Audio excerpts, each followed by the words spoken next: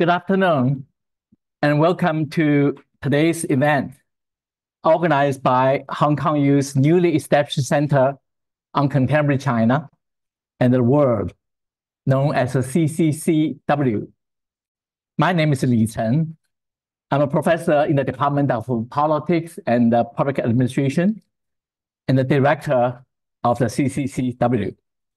This is the first public event that the CCCW has hosted since in our inaugural conference almost a month ago.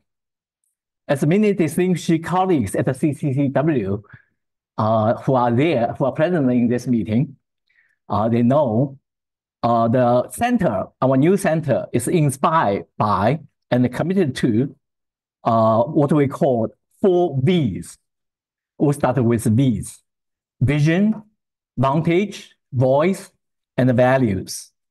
We aim to become a much-needed bridge or hub for international understanding and interdisciplinary research or discourse, and more importantly, uh, a constructive force for maintaining peace across the Pacific and around the world. This is also our first event in the new year, a year that is widely believed to be quite interesting and extraordinary, as 70, about 70 countries and regions undertake elections. Our forum today focuses on the Taiwan election, which was held just last week, uh, last weekend. As we now know from the result, major parties in Taiwan, and also Taiwanese people in general, are divided uh, sharply over the risks and the rewards of pursuing engagement with Beijing and relying on close ties with the United States. It is also interesting and important to note that some sensational views about the implication of the Taiwan election, uh, which is dominated for the media, especially Western media, Uh, for the past few um, few months or longer, are ungrounded. The recent report, really, is quite excellent report by the U.S.-based influential Eurasia Group entitled Top Risk 2024. It's particularly insightful and foresighted in downplaying um, the scenarios for military conflict over the Taiwan Strait.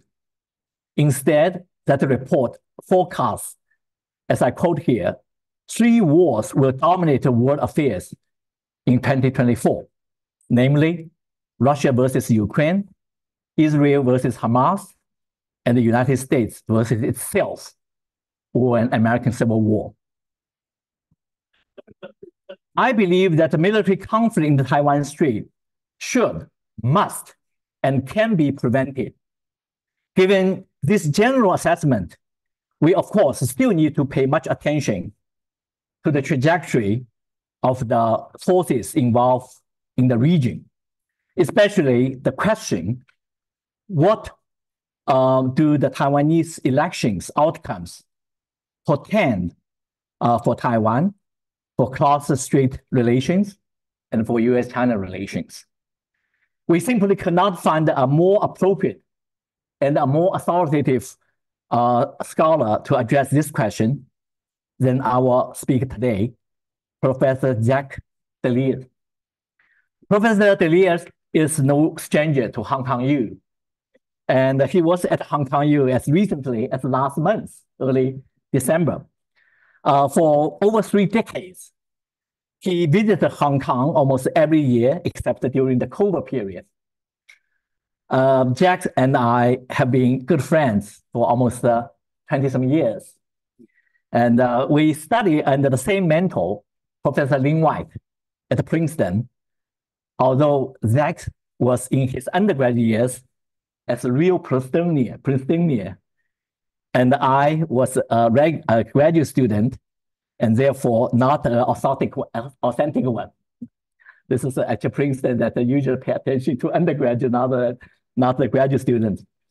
With a JD from Harvard, Professor uh, deLisle has long been a law professor at the UPenn, He has also served as the head of the Asia program at the Foreign Policy Research Institute in Philadelphia, a prominent uh, think tank in the United States. As a world-leading scholar on Taiwan and East Asia, he is the author and editor of numerous books on the subject, including Political Changes in Taiwan under Ma Ying-jeou, and Taiwan in the Era of Tsai Ing-wen, and the After Engagement Dilemmas in U.S.-China Security Relations. He arrived in Hong Kong last uh, late last night from Taipei, where he observed election, and uh, he will return there this evening for more meetings. And uh, really, thank you so much, and Jacques, for finding time in your extremely busy schedule to speak at Hong Kong U. He will offer about a 40 minutes long presentation, and then have a dialogue with our distinguished Hong Kong U professor, law professor, and also CCCW uh, Senior Fellow, uh, Liu Sida, and followed by audience Q&A. With my profound respect and gratitude, I want the audience to join me in giving applause our Hong Kong U-style warm welcome to Professor Jacques deLisle.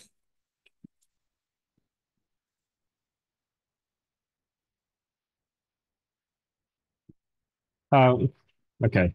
Is this thing working? Yes? Okay. Yeah. Uh, well, uh, thank you, Lih-Tang, for that terrifically warm and somewhat intimidating introduction, which I have to try to live up to now, I guess. And congratulations on your new center here. It really is a spectacularly useful and important enterprise, and it's great to see that the world is still uh, still creating new centers to work on on China, which, you know, at least from the U.S. perspective, I think we still see U.S.-China as the most consequential uh, bilateral relationship out there. Uh, of course, it's a bilateral relationship that now touches everybody else in the world, being some of the things I'll talk about today. So as Lih-Tang mentioned, um, I've just come from Taipei as part of a sort of self-organized group of North America-based scholars who've been going to Taiwan elections for a while. I think the first one we went as an observer group uh, to was in 2000, the first Chen Shui-bian election, uh, back when Taiwan was worried about getting a sort of international certification that its democracy uh, was the real deal. Um, I think the first Taiwan election I was around for was actually Chen's first election as mayor, which was a bit of a surprise. So what you're going to hear today is kind of uh, some undigested field notes from the last week, uh, framed a little bit by some bigger picture uh, questions. So I would agree with what said about the the Eurasia Report. Uh, this, I think we put in the notice for this that this could be one of the most pivotal elections in Taiwan in quite some time. I think it ultimately probably is, but it's not a crisis point. Uh, it is it is actually a fair amount of continuity, as I'll say. Um, You know, I think obviously the Russia and Israel, Russia, Ukraine, Israel, Hamas, and Gaza uh, issue looms a bit larger. I hope it's not the case that America's unbegun civil war is a bigger deal than China's unfinished civil war, as it would be described, but we'll turn to that in a bit. Um, so let me start here. So just quickly, some things about the election itself. Uh, as you all know, uh, the incumbent party, the Minjindang, the DPP, won the presidency with 40% of the vote. That's a minority share, which is the first time that's happened in a while. Um, the question going into the election was whether uh, the Lai Ching-te-Hsiao ticket would hit the benchmark of the last real three-way election we had in Taiwan for president, which was the uh, first Chen Shui-bian election in 2000, where he had 39%. The next question was, would he hit 40%? Uh, and he did in both cases. Uh, Taiwan, several cycles ago, uh, merged its legislative and presidential elections into the same cycle. They used to be off-cycle. And what we saw here is the DPP, the the ruling party, lost its majority and lost a fair number of seats. You can see the trend through the last three legislative electoral cycles, where the DPP has now fallen below a majority and is indeed, again, the second largest party in parliament. Uh, the way Taiwan's parliament works, if you don't happen to know this, is it's a sort of weird hybrid. It has 73 seats that are elected in single-member districts around the island. Uh, and those have the same kind of logic as American politics. That is, it tends to be one of the two major parties that win. It's very hard to field a candidate. It's very hard to have the apparatus uh, to get known and to get votes. Uh, but there's another 34 seats that are done on a party slate basis. That is, you vote for a party, and the parties have their lists, and the parties put their most favored people at the top of the list. Uh, and that one went a bit differently. Um, eight of those seats this time went to a new party called uh, the Minzhongdang, the Taiwan People's Party, or the TPP. Uh, the rest basically were split among the KMT and the DPP, with uh, a leaning toward the KMT. It's actually a little better for them in that some of these non-party people are basically KMT aligned. So we're going to have uh, something of a split government. I should also say, just in the interest of full picture here, Taiwan's legislature also includes six seats from multi-member districts for the very small Aboriginal population. If you want your vote really to count, be a Taiwanese Aborigine. Uh, that is, you get you get to, to, be part of a very small constituency that elects six uh, seats in, in really a sort of two two chunks of districts. Not worth getting into the details. Um, so it is, you know, it is the, the pattern that happened here is I think one that is that showed that the polls were basically right. That is, if you compare to what people expected going in, uh, this was a result that was slightly greener and slightly whiter and slightly less blue than expected. That is, the DPP came out at the high end of its expected presidential vote titles, totals. It came at the high end of its expected legislative slate and the um, the the upstart uh, uh, Taiwan People's Party uh, did better than expected in the presidential vote, clearing uh, you know more than a quarter of the vote and getting eight seats on the proportional representations. So that's sort of the nuts and bolts of this. And the turnout was pretty good with 72% roughly, which is the range Taiwan's usually in. It's a little lower than some of the more heated elections in recent times, but it's it's a pretty good turnout rate. Whoops. Right. What's striking about this election is that um, it's a third term, and it's the first time in Taiwan's democratic history that you've had the same party win a third uh, term. So it was a bit of an uphill slog uh, for the DPP. Uh, and that's, you know, really, I think, quite remarkable because voters in Taiwan, like voters everywhere, tend to be pretty dissatisfied. There was a lot of uh, complaints about uh, the DPP has been in power too long uh, and has failed to solve problems and, and therefore uh, took some hits on that front. This is also interesting in that, unlike in prior cycles, the outgoing incumbent president, who is limited to two four-year terms, was actually pretty popular. Uh, Chen Shui-bian was not popular when he left office in 2018. Ma Ying-jeou was not popular when he left office in 2016. Tsai was still doing pretty well, uh, and uh, you know she was actually an active campaigner uh, for her successor, which is kind of remarkable since her successor, who is her vice president, did try to unseat her when she tried to run for a second term. So there's, some complexity in their relationship. So it is remarkable to get this um, this uh, this kind of of, of turnout. Um, but again, well, only a minority vote. So so the thing that, that this was striking about this election that makes a bit difference is uh, what Taiwanese call the Ke phenomenon. Uh, who is uh, who, who this this third party. Uh, it's kind of a uh, a one person party. What he did was capture the discontent vote. Uh, he captured people who didn't like the DPP or the KMT. The people who don't like both parties tend to be younger. Uh, the, the, KMT has a very hard time attracting young people because it's seen as sort of the old nationalist party, and most of its leaders are fairly elderly too. Uh, and it has been on the conservative side of a lot of social issues that motivate young voters. The DPP, I think, is actually a little surprised at how much trouble it's having with young voters because they got a lot of them in 2020. Part of that, frankly, was motivated by what happened in Hong Kong in 2019. Uh, but there's also a sense that many young voters in Taiwan have grown up only knowing the DPP in power. I mean, if you're in your early 20s, uh, you haven't seen a non DPP government in your political lifetime. So that dissatisfaction uh, kind of led to support for Ko Wen-je. Um, also, Wen-je said, look, I am not only anti-establishment, I am also the one who doesn't want to talk about China all the time. The other guys always want to talk about China. Let's talk about local stuff. So he did pretty well with that. And if we went around to the rallies, we went to the to the rallies. Uh, if, you, get the chance, go to Taiwan for elections for the rallies. They're great fun. Everybody's out till ten o'clock and partying and yelling and shouting.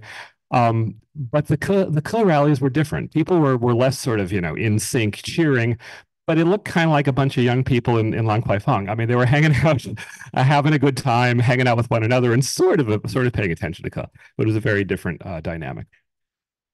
All right, so what I want to do is, is, having told a couple anecdotes there, take a step back and, and talk about what we saw go on in this election there was um, a real sort of complex set of personnel choices and, and, and, and who the candidates and their chosen vice presidents were. So green, white, and blue, the DPP, the TPP, and the KMT. Uh, you probably know this, but I'll give you the quick uh, thumbnail sketch. Um, Lai Ching-te, the president-elect of Taiwan, is somebody who has been in the in DPP politics for a very long time. He was the vice president in Tsai's second term uh, after trying to become the presidential candidate uh, in that same round. Uh, he was a vice, he was a premier, as prime minister under Tsai in her first term.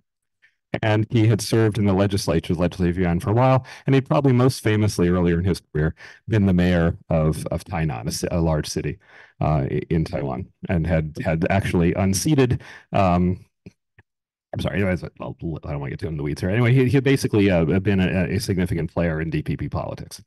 Hou Yu-ih, the KMT uh, candidate, was a cop.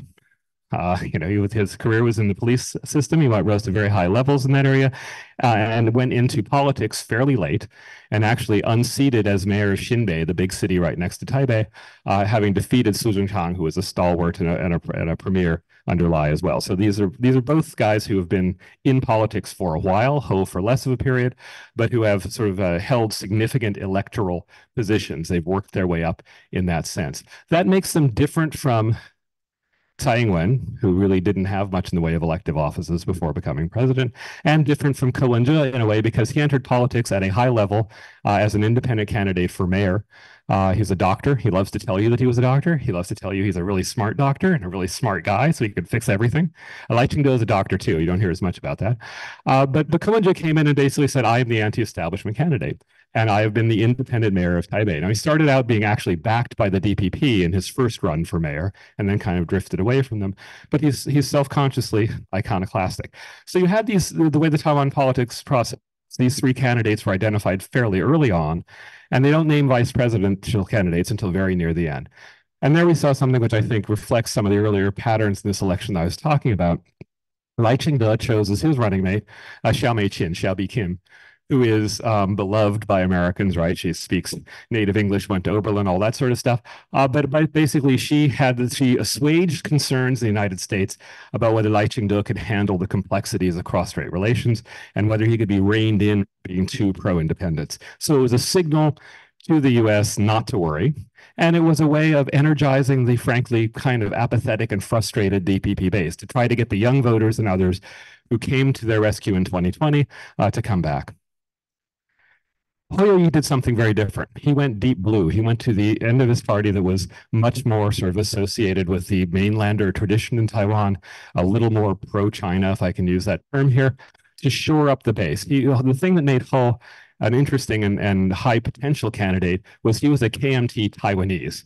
Uh, you know, sort of Lee Teng-hui type, except with different politics. Uh, and so he needed to shore up the base within the party. That was a kind of early sign of weakness in a way. Lai could go with somebody who more or less shared his view and had to worry about external issues, but Ho had to, to kind of pull the party back together. And then you get the fun things that always happen. There's always a little October surprise, right? We call it in America, something on the eve of the election that scrambles things. So Ma Ying-jeou, the former president, gives an interview to Deutsche Welle Radio, uh, which has played an, a strangely large role in politics. Uh, I think there are only a few of us in the room who are old enough to remember this, uh, but the current phase of, of cross-strait tensions in many ways dates to Lee Teng-hui, the first democratically elected president in Taiwan. And one of the things that really created cross-strait friction was when in on July 1st, 1999, I know that's ancient history, uh, Teng-hui went to Deutsche Welle Radio and said, oh yeah, cross-strait relations are like state-to-state relations, or at least a special form of nation-to-nation relations, or as it is known in Chinese, Liangguolun, a very simple two-state uh, thesis. Well, Ma goes into an interview with with Deutsche Welle, and most of it is pretty anodyne stuff, except he goes on to say a few things like, um, we need to trust Xi Jinping on the issue of unification. Unification is constitutionally acceptable in Taiwan uh, because it's under the ROC constitution, which is essentially a one China idea. It didn't put in so many words. It have to be democratic and peaceful. But this was seen as going very much toward the deep blue end of the Taiwanese political spectrum as being very pro uh, pro China. And uh, basically, the last couple days of the electoral cycle had uh, Hou Yu-ih saying, I don't really know this guy. He's really distancing himself from Ma Ying-jeou. They put him in a basement someplace. And the DPP grabbed it. Uh, the election eve rally and the election eve eve rally, uh, Su Zhengchang, the former premier, was out there with a big PowerPoint slide that had big pictures of Ma uh, and, and quotes about unification. So, you know, that probably um, at least changed the discussion, although it uh, didn't, um, I think, much change uh, the outcome. All right, so um, the again that sort of details what happened. here. I want to broaden the frame a little bit here and talk about one of the strange qualities of this election. For as long as I've been paying attention to Taiwan politics, and for every electoral cycle for you know a quarter century now, we are always told that this is the election that isn't going to be just about cross straits. Right? It's finally going to be about domestic politics, domestic policy.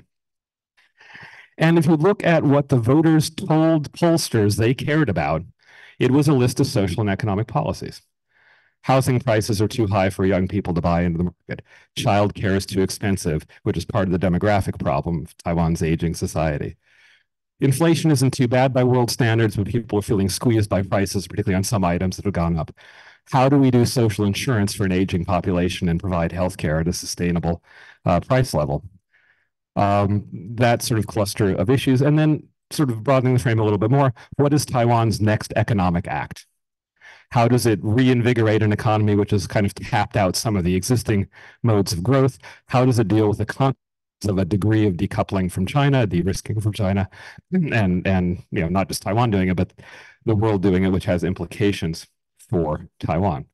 What do we do about a green energy transition? And what does that mean for the nuclear power plants that have been a source of much controversy? This is ordinary politics, right? This is what you would expect politics and many democratic polities to be about. Largely was, you know, the election was supposed to turn on that. But, you know, ultimately it didn't happen. Uh, there was a lot about that. And I'm sure that probably motivated a lot of voters. But the discussion among the campaigns remained very much about um, about Australia. Sorry, one thing I forgot to mention back on the slide, let me backtrack for a moment. There was an attempt to have the Ke campaign and the Ho campaign unite. Joe did that too. Before he blew himself up on Deutsche Welle, he uh, he brokered a live TV disaster uh, wherein uh, Ho and Ke were supposed to you know come out with this unity ticket. It didn't work, uh, and the reason it didn't work, I think, is you know a lot of anecdotal things, but I think it says something structural about Taiwan politics that matters for its democracy going forward. That is the um, view was that these two parties were these two candidates were splitting the change vote, the anti-DPP vote. The idea that you could get these two to link up is really quite difficult because Ke's ego, he's the smartest guy in the room, would want to be number two. But I think more fundamentally, the Kuomintang, the KMT, faced a a potential extinction level event if they agreed to be second to an upstart single person party. And so this was very hard uh, to get that to come together. And then there were sort of more micro problems with it in that they couldn't agree who should be on top based on polling and things like that. But I think between Ke's ego and the institutional interests of the Kuomintang and not shrinking to uh, lack of importance, I drove that. So that's actually one form of political dysfunction. Let me lead lead me back to the lower part of the slide, which is the second form of political dysfunction.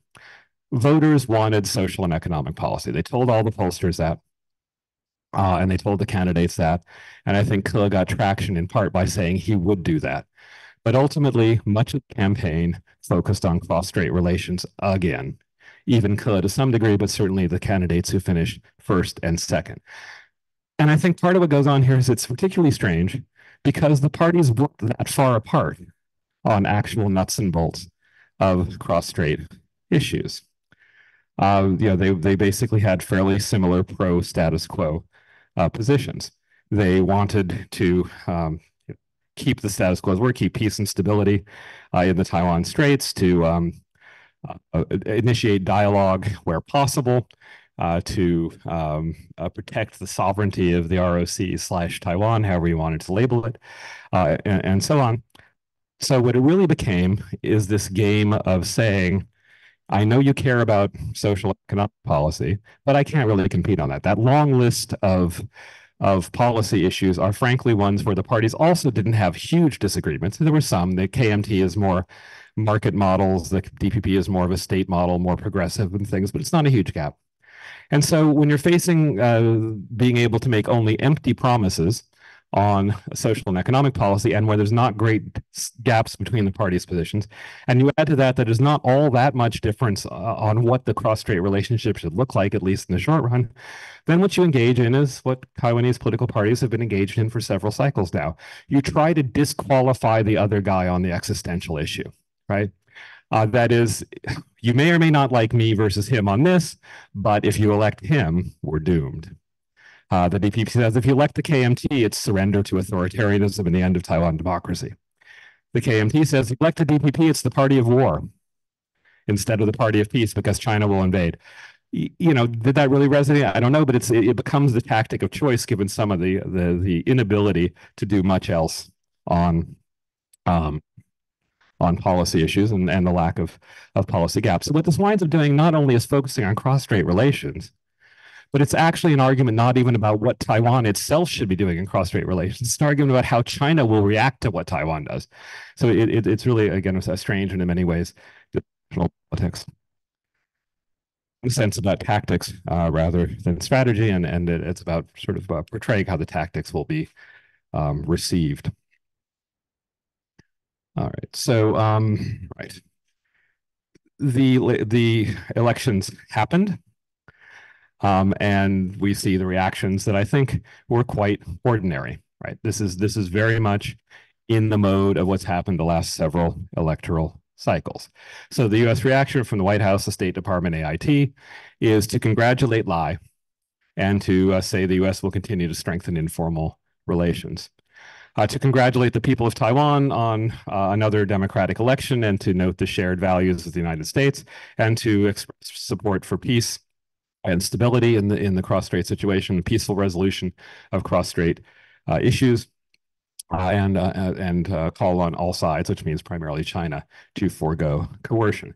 And the U.S. ritually restated the catechism of our policy. Our One China policy is based on the Taiwan Relations Act, the three communiques, and the six assurances.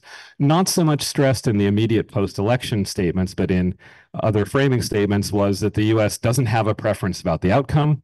Uh, that the U.S. does not support formal Taiwan independence and so on. So, what to make of all this? Well, um, one thing to be said is that the U.S. really was pretty neutral, I think, in this election. Uh, Clevenger a little worried about because he says everything on all sides of every issue, a little erratic. But between the two major party candidates, I think there was a sense that basically they had different upsides and downsides and they kind of netted out. So the concern with Hou Yu-ih was, is he too inexperienced in cross-strait relations and international politics uh, so that he might uh, go too far uh, in making concessions to China? He might uh, not understand where the landmines are, where the traps are. Uh, but that concern faded a bit as he brought some of the traditional Kuomintang national security and, and uh, foreign policy people into his circle.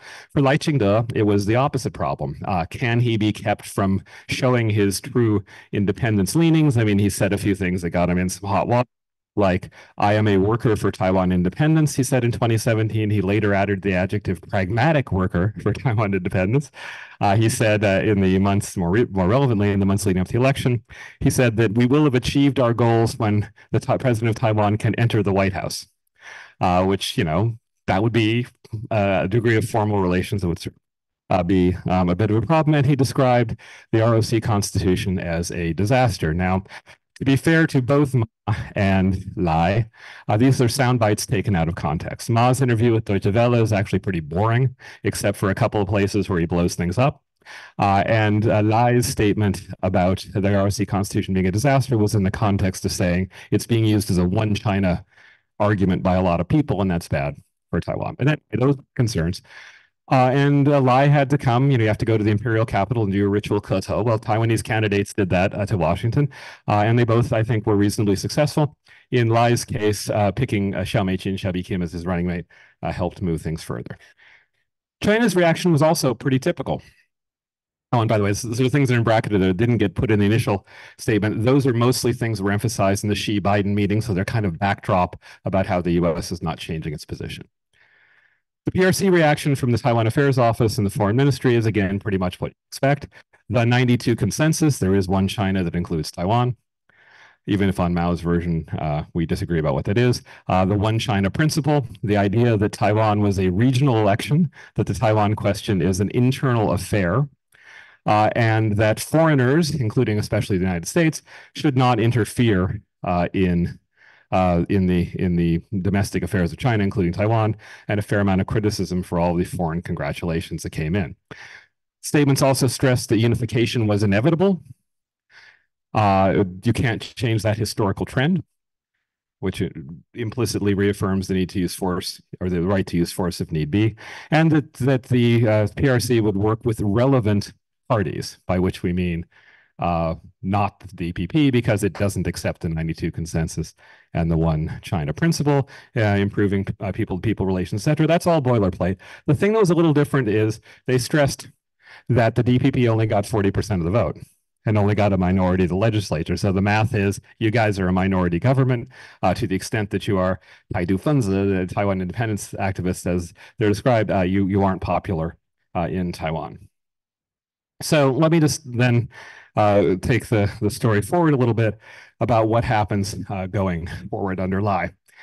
His argument has been continuity, continuity, continuity. In fact, there's a TV commercial during the campaign that has Lai driving around, has Tsai driving around with Lai in the passenger seat, and they leave Tsai sort of sitting on a beach, which is kind of a weird message. But basically, the idea is that that this is a very friendly handoff. Uh, and and uh, that was partly tapping Tsai's popularity, but was also partly designed designed to tell the world that Lai was going to keep continuity. Well, we don't know what the details are going to look like. Um, whenever a new president is elected, um, and this is weird because Taiwan has this four month lag between presidential election and inauguration, there's a lot of scrambling about who's going to be on the team of, of, of advisors, particularly uh, for the outside world, the concerns about uh, foreign policy, both cross, and true foreign policy with the U.S. and places like that. And there we don't know. There have been a lot of people who've been working for Tsai for eight years, and a lot of them probably won't stay on. Uh, there's a lot of speculation and possible jockeying for position. Um, and there is um, a you know at least rumor mill going around that that that the vice president Hsiao will be given a, a large portfolio uh, of U.S. policy because she's very experienced, and that was part of the point of drawing her in. On the other hand, um, given his own personal history, a little bit of a reason to be worried a loyal vice president will be if they get to be too prominent. Uh, but but at least that's that's the the speculation for the moment more interesting question is what happens in the legislature. We have a divided uh, divided parliament. There is no majority party in parliament. There's not even really a majority block. I mean, in the past, you could get nominally different parties, but they were basically blue or basically green. Now we have these eight TPP people who hold the balance. They're not really from a party. If you look at them individually, they're everything from leftovers from the Sunflower Movement, Shidai Liliang New, New Power Party, to people who are basically slightly light blue KMT types. So it's really a wide range, uh, even at the top of the ticket. So among these eight, there's not a lot of coherence, and it's not clear that Ke can really control them the way you would control members of, a, of an institutionalized party. So that's going to be uh, an interesting thing to watch how they hang together and what the DPP can offer them to um, to work with them. Now, Taiwan is a quasi-parliamentary, quasi-presidential half and half system. So you have this strange thing where the premier does not need majority support in the legislature. He's appointed by the president but still stuff has to go through the legislature. And in Taiwan's legislature, even a minority party has a lot of power to block things. We may be in for a fairly bumpy ride there. There's a there's this convoluted mechanism where the legislature could make a no confidence vote vote in ousting the premier, and then the ousts the premier, or keeps the premier and dissolves the legislature, uh, which has never happened. And I think would and usually, you know, comparative politics research tells us the minority party in a coalition gets whacked when it brings down the government. So there's no real incentive to do that. So we're likely to just see um, a kind of difficult slog on legislation. Of particular concern to the side world is what will happen with the defense appropriations. Taiwan does its big arms purchases through special legislative packages, not part of the general budget. Those are always contentious. Uh, it had been a friction point between the US and Taiwan that had abated in recent years. Most parties now, all the parties now say they're pro defense spending, but not necessarily at the same level or in the same form. But the thing that most concerns people outside Taiwan, in addition to the defense spending, is this question of of uh, of uh, strategy abroad. And here, I think you'll see uh, continuity again. Lai's statements have stressed uh, very Tsai-like language. He's going to follow the road that she laid out. There will be continuity, stability, peace, and support for the status quo, which is actually a little more controversial, but he plunked that way. He has pledged to, to govern these issues in accordance with the ROC constitution, which at least includes some light one China element, insists continually on Taiwan's sovereignty without formal independence, and will engage with the mainland only on a basis of equality and without preconditions. And he stresses the solidarity with fellow democracies and the support from the United States. So pretty much what we've been hearing for years. But we do have this question about whether the other Lai may rear his dark green head. I think probably not in the near term. But these are all sort of of the moment. What I want to say is that I think as we go forward, Lai is going to be yet another variation on a very long-term strategy that Taiwan has pursued from the Chen years through the Ma years, through the Tsai years, and into the future. Now, it takes very different forms, but the basic idea is Taiwan wants to protect itself by looking and acting as much like a state as it can in the international system. So under green governments, that has taken the form of very robust statements about Taiwan is sovereign and independent, even though it has no need to not declare formal independence. It has taken the form of trying to join any international organization that will have it, sometimes under silly names like Chinese, as opposed to the Danish Taipei that we all love to visit.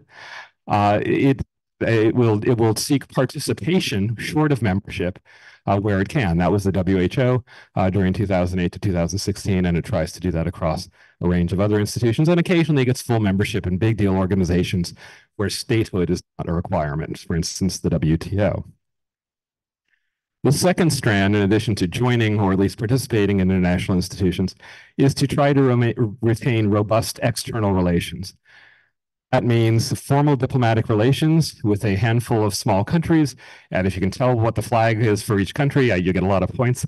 Uh, they're, they're fairly obscure places. Uh, but much more importantly for Taiwan, having robust informal relations with the US, Japan, uh, and increasingly Europe, including particularly former Soviet bloc countries that, that have, have uh, for a variety of, of kind of um, shared anti-authoritarianism, uh, come into line the final strand in Taiwan's participation or Taiwan's strategy is to engage in as if participation. That is, Taiwan is not allowed to join the UN Human Rights Covenants, is not allowed to join the UNFCCC and a variety of other such things. So what it does is this kind of pantomime. It, acts as if it were a member of all these arrangements uh, and submits its reports and, and, and swears uh, to uphold those laws, law of the sea in the same bucket. So those strategies, I think, will continue. They'll be toward the greenish end, and that we'll see stronger statements of state-like status, and we'll see uh, less opportunity for full engagement because China will push back. So that suggests a lot of the question is, what does China do? Um, I mean, China has much more agency here. Beijing has much more agency than, than Taipei does. And again, the initial reactions, I said the usual stuff with a minor twist about, hey, you guys didn't get very many votes. But we'll see how the Chinese side, I think, too, is a uh, continuation of a long-term strategy, again, adjusted in small ways uh, for things that happen month to month. We're going to continue, I think, the cold peace, as it were. That is, you won't see more engagement with the Lai administration than you did with the Tsai administration. Uh, Beijing painted Tsai as the devil incarnate. They painted Lai as worse. Uh, so if the if the amp is already turned up to 11, 12, uh, it sort of just goes along uh, with a similar uh, broad approach uh, with no um, real peer engagement, but a lot of quiet engagement. At the working level, a lot of stuff has gone on under, under green governments. ECFA is there and you'll see a lot of that kind of low level stuff. I think you'll see continuing restrictions on Taiwan's international space. We've seen China ratchet up the pressure at the UN and using the UN resolution uh, 2758, the, the resolution that handed the Chinese seat over from the uh, ROC to the PRC. Uh, China's been pushing very hard to say that is a general principle of international law applicable to Taiwan status more generally. Um, Taiwan's not getting into the CPTPP or the RCEP or any other such arrangements. Um, and Taiwan looks like it's going to lose a few more diplomatic partners. Uh, for flag fans out there, that's Nauru. Uh, it's Nauru's flag there that that just switched, I think, yesterday. Uh, so uh, the lobby of the foreign ministry's flag collection is looking a little little sparse.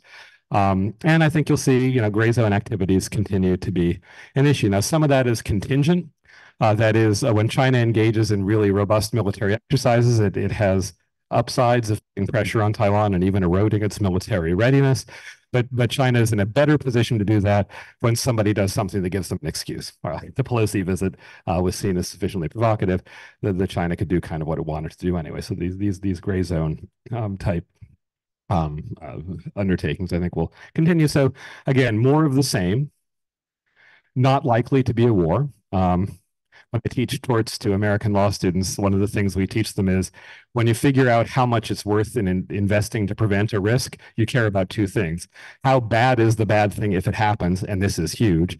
And how likely is it to happen? Not very, uh, but a small percentage chance of a big disaster is something uh, worth waiting about. So I think what we'll see in the next few months is, a, a, a barring some provocation, uh, some exogenous event, we'll see a calibrated response. We've seen China restate its usual positions, um, but I think you'll wait for the inaugural speech uh, from the new president to see what the longer term reaction is.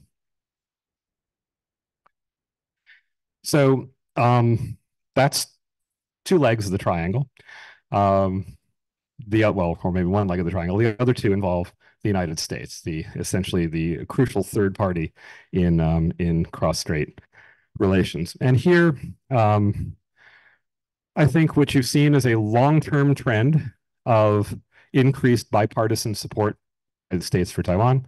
Uh, if you look over the history of this, Taiwan Relations Act was passed in 1979 as the framework substitute for what Taiwan had just lost in terms of security uh, guarantees and formal uh, diplomatic relations. And that was basically it almost for a very long time. Congress introduced hundreds of bills, none of them got anywhere. And then starting in 2016, you got piece after piece of legislation that actually passed that were expressing support for Taiwan on everything from military hardware to political cooperation to just endorsement of, of Taiwan's participation on the international stage. And once Biden came to office, uh, there were statements that were seen as really pushing the envelope of the US's longstanding policy of strategic ambiguity. If Taiwan is attacked by China without provocation, the US will send its troops, unlike what it did in Ukraine um, and that the, uh, the, uh, the U.S. has this essentially ally-like, although certainly not ally commitment. And you've seen the U.S. say that that this is an undertaking not just bilaterally of the U.S. supporting Taiwan, that's unilateral, but instead is an attempt to gather like-minded states to uh, to essentially align with the to position that pushes back against China on Taiwan. So you see statements at the G7, statements at NATO, and various other context statements from the EU as well. Uh, and it also gets folded into the U.S. agenda of protecting a rules-based international order that, that is against the use of force to change political status quos and so on. So these are essentially attempts of the U.S. to leverage other states and broader principles uh, to help shore up uh, support for Taiwan. That's partly about protecting Taiwan. I think it's also that we have a very different mindset than we did a couple of decades ago about Taiwan's place in U.S.-China relations. If you walk back to the Chen Shui-bian years, I think it was basically US China relations are pretty good. And if they're going to get messed up, it's because Chen's going to do something. And now the view is US China relations are pretty terrible. Uh, and getting getting the Taiwan situation slightly better or slightly worse isn't really going to change anything. And in some U.S. discussions, it's really reached the point of uh, reached the point of talking about Taiwan as a strategic asset in, if not an inevitable conflict, at least a long-term adversarial relationship with China. So that's the sort of surface stuff. And I think underneath the surface, there's again a, a broader, deeper picture here, which is less discontinuous than some of the media coverage would suggest. I actually don't think the US position has changed profoundly on this. The um, US uh, position is, I think, still ultimately one of strategic ambiguity. If by strategic ambiguity you mean the US doesn't want to commit itself one way or another in a bunch of imaginable situations, uh, but the clarity part of strategic ambiguity is if there's an unprovoked attack or unprovoked coercion even um, of Taiwan by China, then the US will back. If Taiwan goes too far to formal independence, the US will not back Taiwan. So we'll sit in judgment on who is the bad guy in a cross-strait crisis. So it's really a logic of dual deterrence, deterring China from coercion and violence, deterring Taiwan from provoking uh, actions by China primarily through formal independence. The thing is, in the last 16 years, there's been no need for the US to deter Taiwan. It really hasn't been doing much, but the US has seen an increasing need to deter China. So what you see is the logic of deterrence focusing on dealing with a more powerful and assertive China and not needing to constrain a more moderate and restrained um, Taiwan. So what that um, means is that, that we've gotten into something that is not in technical international relations terms a security dilemma, but is almost a sort of psychological equivalent of a security dilemma. That is, the U.S. now uh, views um, what it is doing as primarily status quo protecting. You lean more toward Taiwan, you're tougher on China, you take stronger language toward China. You look like you're you're just uh, focused on that side of deterrence because the view is China is being assertive and China has more uh, power with which to achieve its ends, both through threats of military coercion and through alignment with states that will back it in international organizations. So the US sees China as threatening the status quo by trying to squeeze Taiwan through gray zone and through international uh, marginalization. And so the US responds to that by upping the threat level and by recognizing the US's own declining power relatively by gathering around like-minded states and by saying the international rules that bind these states together are a way of pushing back collectively against what are seen as a stronger and more assertive set of actions by China. On the other hand, China looks at that and says, hey, wait a minute, you're hollowing out the one China policy. How come you almost never use the phrase anymore? How come you're not worried about talking uh, about how Taiwan should be pushing the envelope and needs to restrain itself? Why one-sided deterrence? And uh, you, what you're really doing, U.S., is you're suborning Taiwan independence. You're looking the other way, while Tsai Ing-wen and those other Taidu step by step sneak out toward independence, creeping independence, slow independence, stealthy independence, gradual independence. You can find all those phrases. And the U.S. is either blind to that or worse yet, is doing a nudge, nudge, wink, wink, and encouraging it. And all this talk of like-minded states and all these things that come into G7s and EU statements and NATO statements is about encircling China. It's like NATO toward Putin on Putin's view of that. So China says, you know, hey, you're out to, to, to get us here in a kind of neo-Cold War thing. So each side sees itself as trying to protect uh, the other, trying to protect against the other's attempt to change the status quo. And I think that will continue as well. Last, that last slide uh, is the road ahead we've got some bumpy mileposts coming up. When I was in Taiwan, lots of people said, isn't this a consequential election because it will prove the DPP will rule forever? And, you know, isn't that bad? What will China do? Uh, as, as Li Cheng's quoted the, uh, the Eurasia report, uh, I think accurately conveys it's not at the top of the list. But there are uh, some things uh, going here that, that the one has to pay attention to. So one that's not on the slide here, I think, um, well, actually, yeah, uh, is, let me take this a little bit out of order. Um, Taiwan's next election, I think, is going to be actually more pivotal than this one. My sense from being in Beijing a couple of times for several days, which is, you know, admittedly a small sample, uh, but that plus one, one reads in the media, a sense that, that Beijing was kind of resigned to the idea that Lai Ching-te was going to win. It wasn't seen as a, you know, really crisis moment, either because he's been restrained or because it just seemed like there wasn't much else that would happen. A lot of uh, China's Taiwan watchers, however, say it starts to get a little dicier if it looks like Lai is going to get a fourth term, because then really, when is the KMT ever going to come back? And doesn't embolden them to go further. And the way Taiwan's election cycles work, the so-called midterm elections actually happen only about 15 months before the next presidential. These are the local elections, the nine and ones as they're called. And typically those were seen as a harbinger of what will happen in the next presidential and legislative elections. That correlation is getting less good.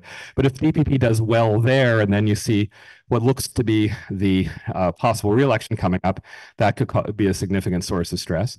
Or if it looks like Lai's in trouble and he decides to go to a play to the base strategy by hitting the independent stuff, then that could also be uh, provocative. But I think the real question here also, it's not on the slide, is what about the Kuomintang? What do parties do when they lose three elections in a row by trying the same thing and having it not work? I mean, there are complexities. The three last presidential candidates, four if you count Hung Hsiu-chu, uh, from the uh, from the KMT have you know been flawed candidates and very different from one another. But there's a real risk that the KMT will look at this and say, we don't need to change. We lost because Joe went off his meds and talked to Deutsche Welle. We lost because Yu-ih wasn't really that good a candidate. I mean, the buzz cut hairdo wasn't doing it, and uh, he he barely spoke intelligible Mandarin in some people's views, right? Or uh, we lost because um, uh, Ko Wen-je was in the race. And if we only could add those 26 points from Wen-je to the 36 points we got, we win in a walk, a landslide. Not true. Those votes would have gone someplace else. But it's easy to say that. Or we don't have to do much because Lai Ching-te will mess up. And even if he doesn't mess up, I mean, three terms is one thing, but four, forget about it. You can get four terms in a row. So I think there's a risk of complacency there. Uh, there's also a risk of therefore failing to do something to shore up support so the party could shrink to an even more fundamental deep blue base, the old types taking over, in which case that's really bad. That's bad for Taiwan because it means it doesn't have as robust a two-party democracy. And it's probably bad for cross-strait relations because having to compete for votes uh, is, is not a, a, bad thing across the board, especially uh, on fraught issues like that. Then there's the question of Xi Jinping and the 21st Party Congress. Uh, Xi, unlike Tsai and Lai and Biden and Trump, uh, are limited to a maximum of Yeah, they're limited to a maximum of two terms. Xi has made it clear he's not. And the question becomes, you know, when does this legacy thing kick in? When does the idea that you can't postpone this from generation to generation? When does the sense of accumulated drift of Taiwan from China reach the point where China decides to tighten the screws? I told my friends in Taiwan, you should be glad that uh, the term limits were abolished in China because if it's a legacy thing, he's going to be around for a while. Um, but the real consequential near-term election is the U.S. election in November. Uh, and everything I've been saying so far is kind of premised on the idea the US isn't going to change much. And there are good reasons to think Xi Jinping is not going to change much. I don't think there's a timetable. I don't think we're on the verge of war. I think it would take something to cause that. There's not much that, that is going to happen in Taiwan to change because is pretty deeply committed to continuity and because the constraints of the electoral system have driven the two parties in Taiwan very close together. Uh, the Orange Menace is another story. Uh, we, we have no idea what a Trump term two is going to look like. I mentioned ambiguity about who would be around Lai. I think Trump term two is going to be more unpredictable than term one. I think Trump has absolutely no feelings either way on Taiwan. Uh, he has complicated feelings toward China. Uh, but at the very least, one thing that, that I think we can predict about a second Trump term is that there will be less uh, focus on coordinating with allies and there'll be a lot of alienation of allies, and that's very volatile. It means Japan and Korea feel on their own. That creates complicated implications for their their role in any Taiwan scenario. And Japan has gone much closer to Taiwan in recent years. And it means Europe is out of the game. Europe, which has become increasingly involved and focused on China issues and China Taiwan issues, goes back to worrying exclusively about Putin, basically. Uh, so it makes for a much more volatile world. And on the trade side, which has, of course, been one trade investment side, which has been one of Taiwan's strong suits, it accelerates the difficulties that are already looming over the horizon from de, de risking and decoupling you know, uh, China's a much less uh, important player in Taiwan's trade and investment and the world's trade and investment than it used to be, but it's still huge for Taiwan. Um, and uh, you know the, these are sort of disruptive events. With Trump, I think you would find uh, even more uh, disruption of U.S.-China trade, uh, and that both reduces vulnerabilities but also increases the room for doing provocative things. So with that, I'll stop and listen to Sida's comment.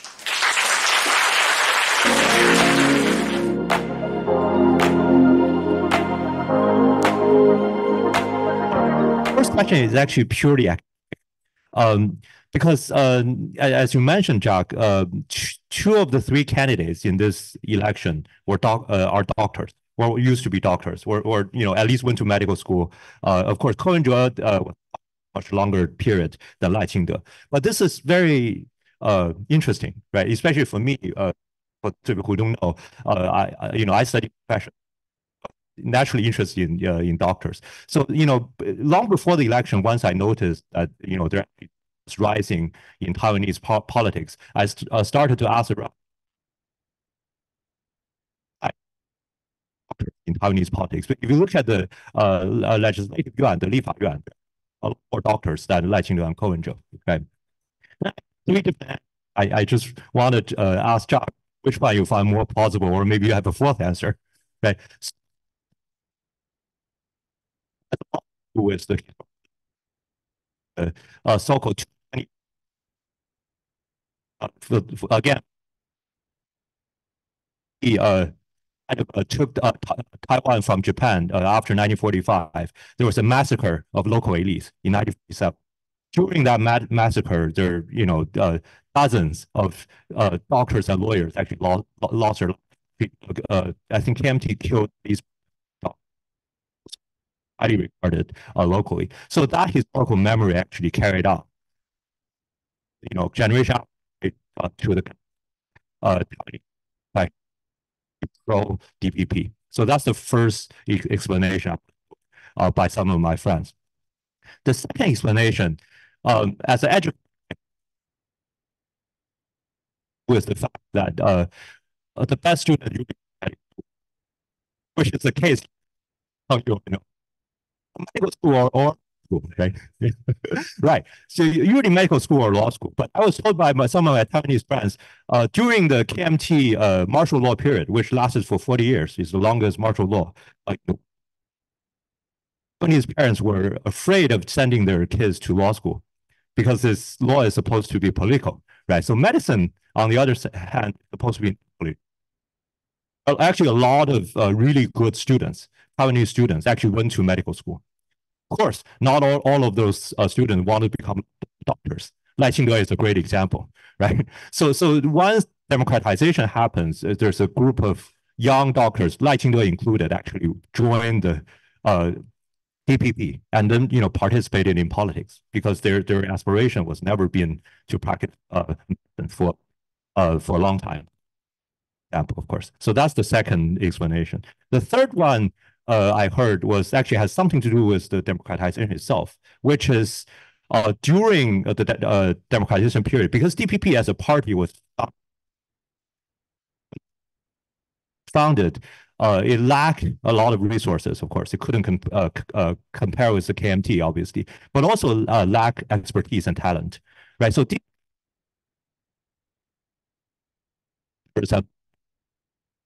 into the party. So that's why when Chen Shui-bian became, there's a group of doctors actually went into Taiwanese politics, right?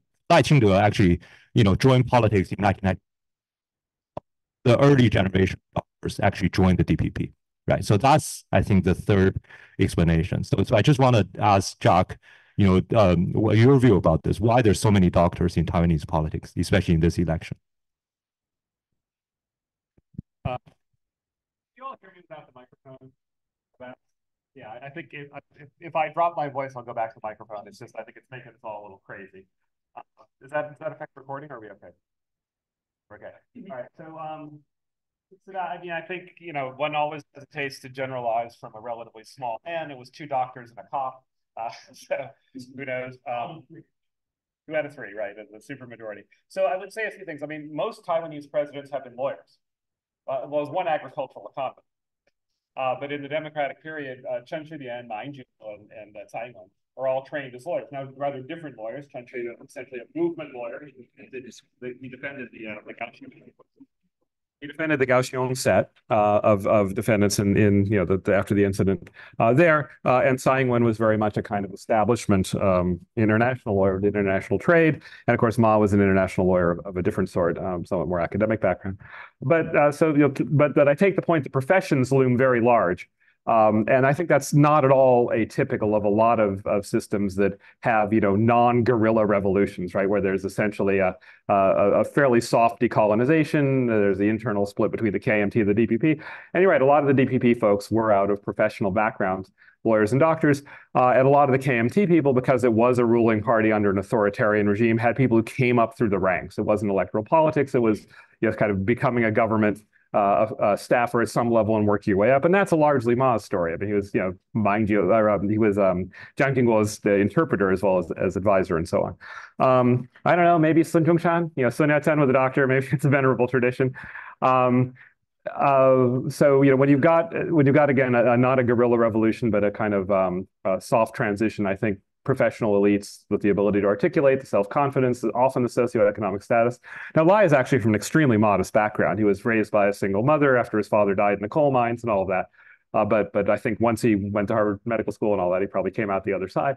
Um, but um, you know, Ko Wen-je will certainly tell you doctors are smart. he'll tell you the smartest person in the room. So I think there is a certain amount. I mean, you know, I don't know what it takes to look in the mirror and say, you know, I should be president. Uh, but I think you've got to have a, a certain uh, healthy ego, and you know, doctors and lawyers are, are probably people with with relatively uh, healthy egos. Um, but I but I do think I do think the historical explanation is a lot. When you have the kind of transition that Taiwan had, where the Dangwai was very much these people, and then I think the KMT, the new KMT, the KMT that needed to compete democratically kind of mirrored that. And so you saw more prizing of that uh, kind of, of, of background. Um, so you mentioned doctors and lawyers. I'd say the other thing are political scientists. There are a lot of them. They aren't in elective office so much, but the, the cabinet in Taiwan has more American PhD political scientists than the American cabinet has ever had. And yet Taiwan has survived. Uh, so if you're asking me to pick among them, I, I really think the explanation is a, a, uh, a path-dependent one that is confirmed by here extremely soft and casual comparative uh, political science, which is this kind of transition tends to be uh, conducive to that because it doesn't require you to go to the countryside and you know, take up arms. It doesn't require you to work only within the system. And so the kind of skills that I think, and you know this far better than I do, but the kind of skills for lawyers and doctors, which are which are very autonomous professions. I mean, people sort of uh, prize that kind of autonomy and see themselves as shaping the world rather than working in some hierarchy are probably conducive to the DPP side, and I think the KMT probably winds up mirroring it. I think I'll just stop. So my second question is uh, much less actually very practical because uh, you mentioned, uh, Jack, the DPP, this is their third win in the election, third in a right? So I, you know, like many people, I think this is actually quite predictive, right? Actually, I was talking about the re-election four years ago. I basically thought DPP will be in power for a very long time because, you know, just look at the alternative. KMT was, you know, it's still weak and, you know, lack of resources, like the opposite 30 years ago, right? And also, more importantly, uh, KMT really lacked talent. Look at their all their candidates, you know, for uh, for president in uh, like recent years, right? So, and and at the same time, Wen-je was I think, you know, has a very, very bright future, but he's still very, very young and early stage. So neither could really try to unless they really come together, which they couldn't. So I think the DPP will be in power. I think you mentioned like you might have uh, uh, another term. I think that's actually quite possible. But then the question is like, um, in terms of governing Taiwan, right? What kind of challenges the DPP will face in the next four years? I mean, I'm not talking about the law of authority that I explained to you. I'm talking about it in terms of the actual policy, mm-hmm. you know, of that, you know, people in Taiwan care what are the. Yeah, a fair question. Um, so, I mean, I think you're right to point to um, what is an example of the old adage, you can't beat something with nothing. Uh, you know, the DPP is not terribly impressive as a something anymore. Um, you know, it's got its own internal factional problems and and and it it it does have the problem of bearing the, you know, you can't be the party of change when you've been in power for 12 years. Uh, so so I think, you know, it does have weaknesses, but you're right to say that the KMT has has yet to really learn any lessons. I actually think that the KMT is has some people who are down a generation who are who are fairly promising, um, but you know, they're they're they're several steps away. Um, uh, the DPP uh, has a deeper near-term bench, but those people who are the younger folks in the KMT uh, are not going to generation skip. I mean, the KMT is a little too hierarchical for that, and these people are too light blue, too open to, you know, same-sex marriage, to to walking much farther away from one China principles and things like that. Um, you know, Mayor of Taipei, I think, is somebody of the following generation, the mayor of uh, Taichung is another possibility. So there are people out there, but but there there's a cork in the bottle. And for Ko Wen-je, I'm actually less optimistic about the future of that party. I think, uh, you know, that party is so uninstitutionalized. The campaign was social media. It's got no grassroots basis. It tapped into youth discontent. Uh, it, it, you know, it it tapped into something that's there, but I I don't think they're anywhere near establishing a long-term viable uh, viable party, but they might. Um, I think we'll we'll learn more about that in in the near future when they sort out the legislative politics. But whether these people will be disciplined, even the eight, whether they'll be disciplined followers of Ke, and then if you can build a lasting movement. I mean, you know, the thing with Ke is he said everything about everything. It was on all sides of every issue, and he just had this vibe, you know, I alone can fix it kind of thing. I would say that's not sustainable, but what do I know? Um, um, so what are the near-term governing challenges?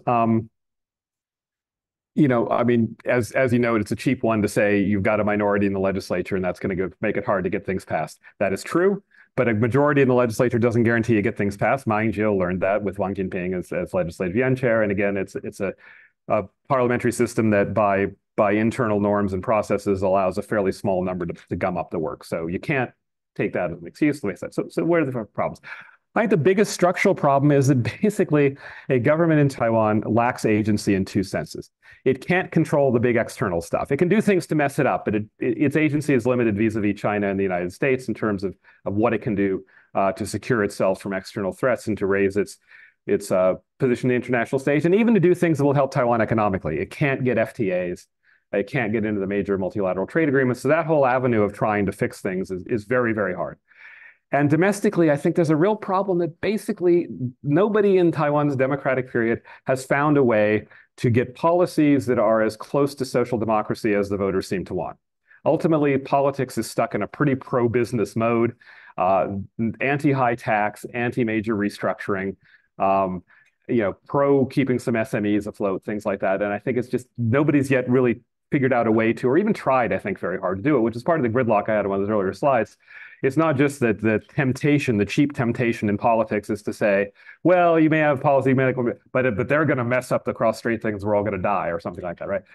You can try that because nothing else really works. And I think that's the problem. I think I, I think if you really got these guys in a room and said, come on, you're really going to pass something that creates these kinds of large scale at the same time, child care incentives, uh, mortgage support, um, you know, uh, generous healthcare without raising taxes. I mean, the U.S. does that too. I think it's even more more extreme in Taiwan. So I think if you have another four years where there's no movement on that stuff, and if cross straits doesn't blow up, then I think the party is going to face a reckoning on that front. The, the issue, though, is who's going to step in and offer an alternative. The KMT is not going to pass the DPP on this, uh, this the progressive left. They've barely stomached, you know, same-sex marriage, gender equality, stuff like that. And their, their proposals are much lower tax, less redistributionist. Ke could try to claim that mantle, but again, is he going to have a party that can do it? And is anybody going to believe him? If his pitch basically is, I, I know what I'm doing here. I'm the smartest guy in the room. Trust me. That was in heavy quotation marks. Well, third question. okay, my third and final question, then we'll open up the floor for discussion. It's probably the question uh, on the mind of many uh, me and many uh, other people in this group, which is called the type right? So, so I mean, of course, in recent years, I think uh, in both the uh, Western media and the Chinese media, there are a lot of discussion about a war, uh, war, uh, uh, you know, across the strait, right? So, so I mean, it, it, there's so much discussion about war in the past two years. I almost felt like I don't know whether the Chinese government wants the war or the Western media wants the war. I feel like the media wants the war more than the government.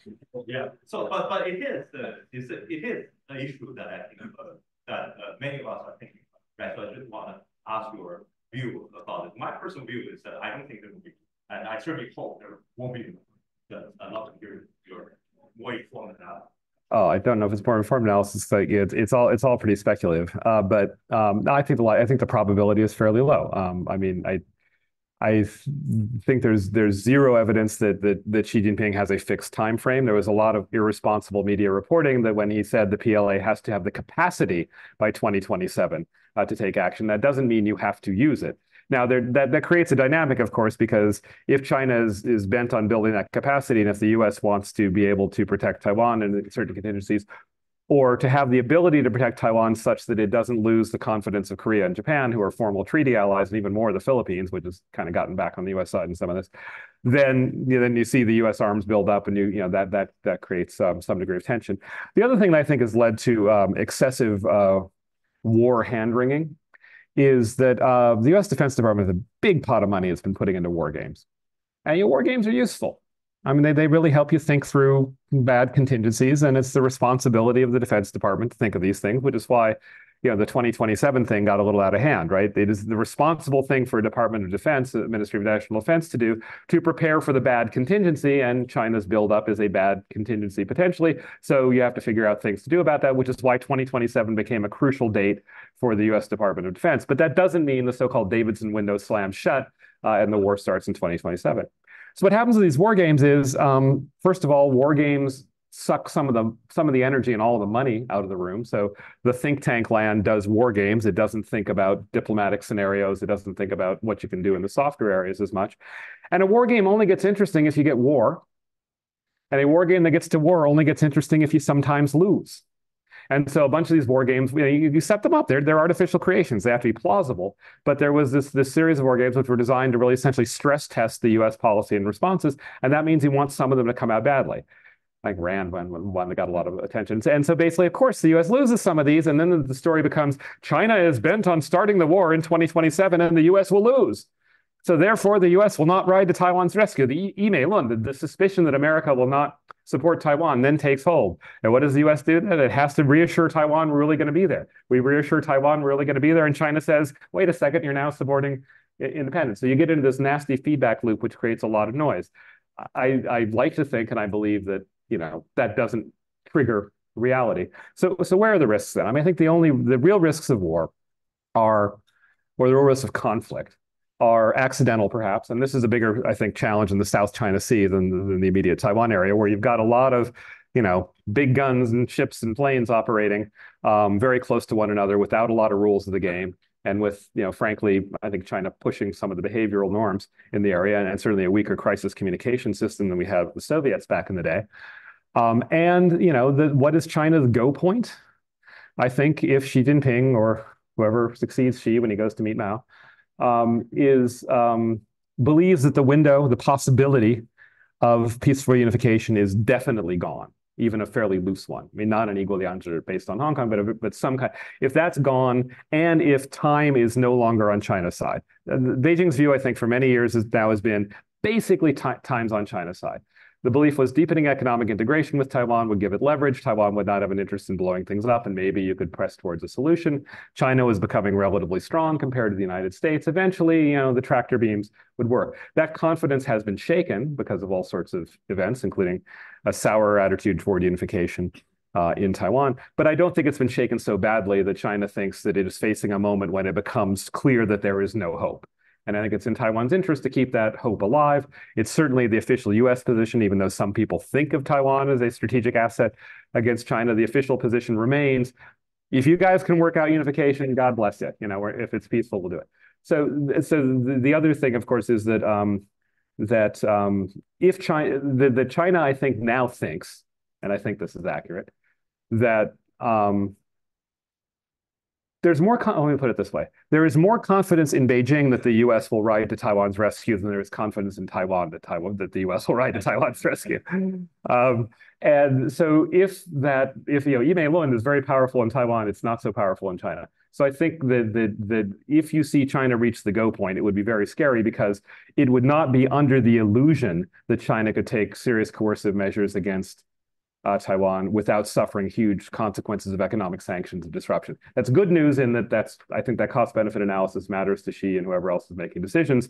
But it does mean that if we get to the point where we're at the tipping point, then it gets scary because the huge costs economically and the likelihood of a war that involves the U.S. and Japan are already factored in. One, one final thing, looping back to the earlier point about accidental war. I think accidental conflict spiraling into not a war, but a bigger conflict is bigger in the South China Sea. What you have to worry about in the um, in the cross strait situation is misreading of uh, accelerated gray zone tactics. Uh, how do you know what is a really big war game versus preparation for the actual move? What if China does a soft blockade? You know, how do you push back against that?